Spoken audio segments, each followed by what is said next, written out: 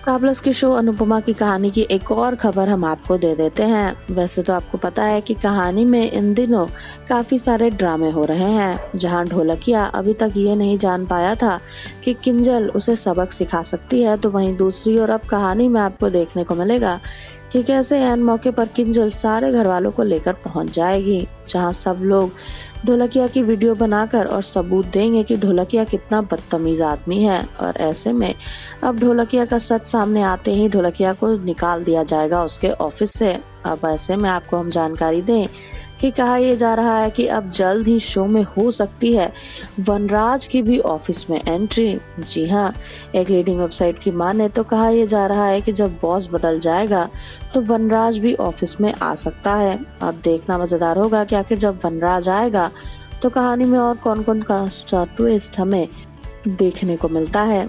जानने के लिए आप बने रहिए हमारे साथ।